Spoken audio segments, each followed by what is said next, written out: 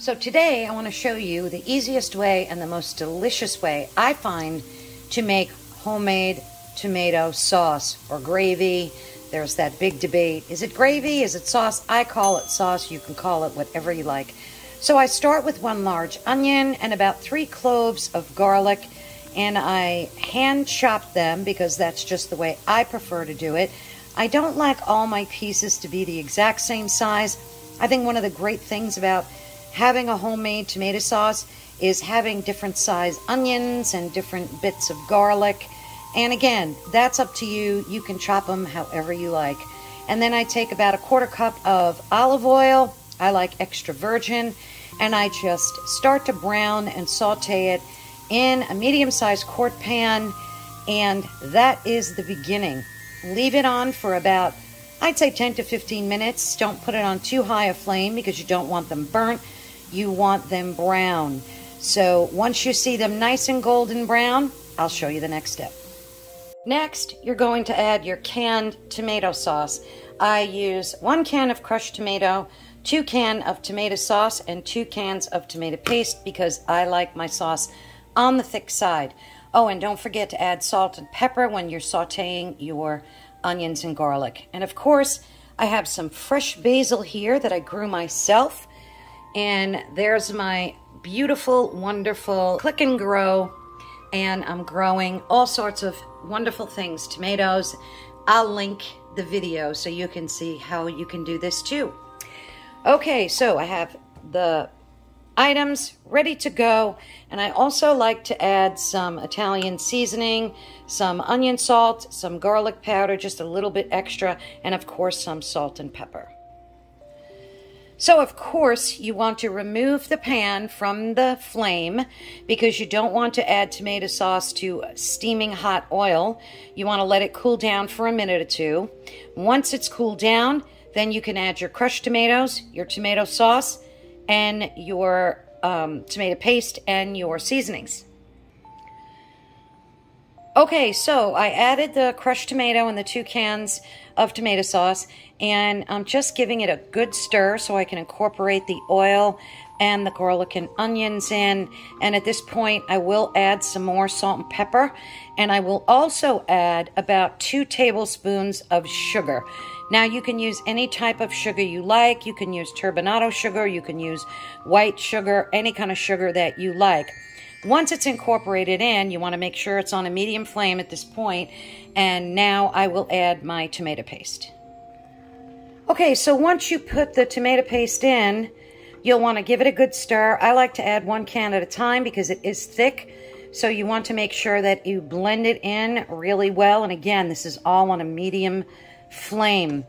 And now once I'm done stirring and making sure that everything is blended in, I will add my spices, my fresh basil, and I'm also going to add a half a cup or maybe, yeah, a little less than a half a cup of white wine. Now, some people like red wine, but I personally like white.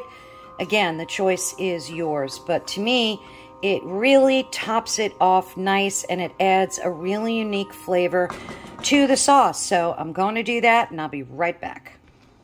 Now, a lot of people are always concerned about how much spice they should use. I always say season to taste. Now, some people like pepper, some people don't. And again, you'll want to use your own judgment in terms of how much you add. If your family likes spicy sauce, not hot, but with a kick of spice, of course, then you'll be a little heavy-handed. Of course, you can add some red pepper flakes in here too, which I'm not going to do today because I just don't feel like it. And again, it's done a lot on intuition, just how I feel like making my sauce that day, how it's going to turn out.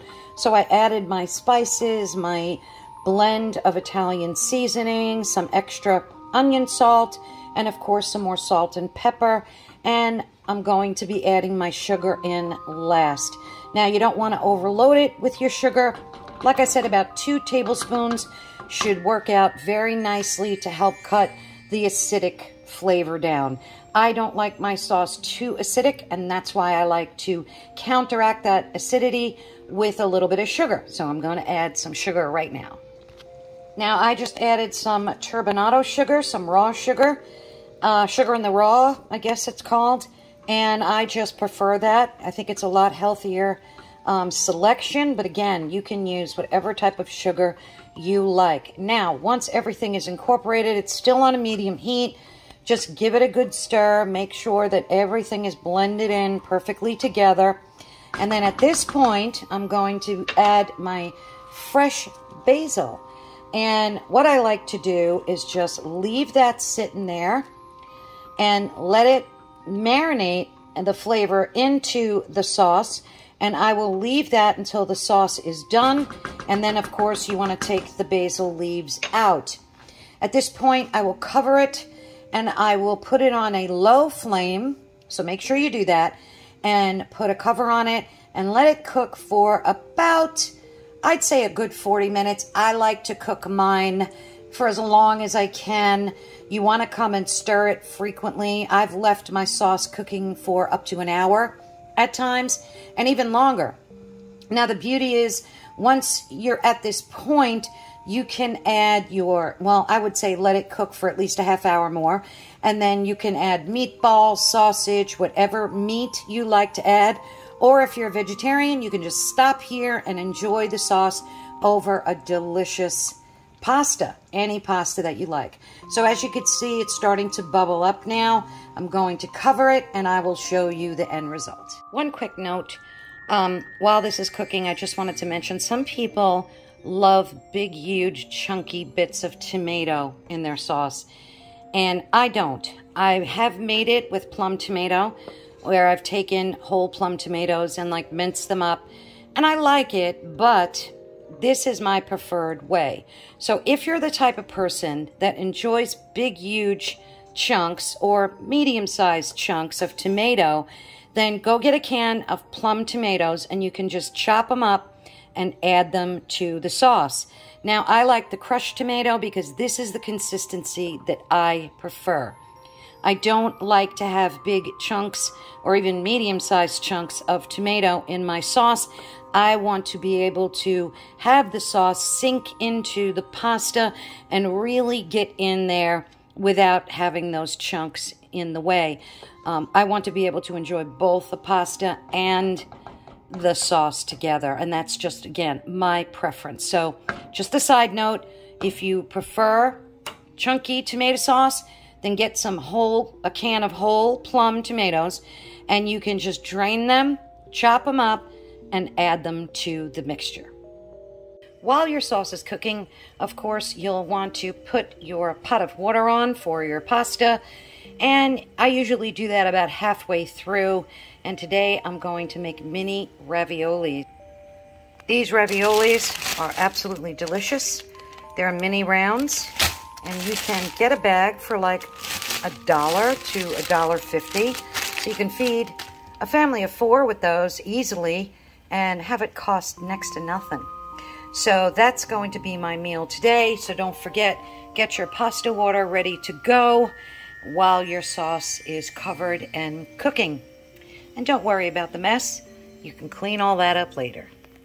One of the awesome things about making a pot of sauce that big, um, I, I've made it even larger in the past, is that just get some Tupperwares and freeze the leftovers. So if it's just cooking for one or two, you'll have plenty of leftovers. Um, it'll fill definitely three or four of these containers. Pop them in the freezer, and you can have sauce ready to go when it's time for you to use it, I just put it in the microwave and let it defrost in there. Okay, so my sauce has been cooking for about a half hour. It's nice and bubbly and steaming, and I'm going to let it cook for another half hour, and then it should be all delicious and ready to go. The reason why I like this recipe is because it's easy. It only took about 15 20 minutes to prepare, and it takes about an hour to cook and so easy to do and absolutely delicious. I hope you get to try it and enjoy it too. And please don't forget to subscribe to sassytownhouseliving.com. I'd greatly appreciate it if you do. And you can thumbs up this video and click the notification bell for notification anytime we upload new content. Thanks so much for watching and have a great, safe, and delicious day.